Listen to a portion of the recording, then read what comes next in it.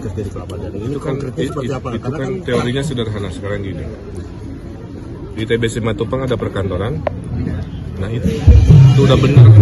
Jadi orang yang kerja di Simatupang kalau bisa tinggalnya orang-orang Jakarta Selatan artinya di barat timur utara ada pusat bisnis pusat bisnis baru. Semua jangan terpusat di tengah kota Sudirman Tamrin. Itu kan teman saya tinggal di Kelapa Gading kerjanya di sana ngemolnya di sana sehingga hidupnya lebih sehat lebih bahagia lebih sejahtera.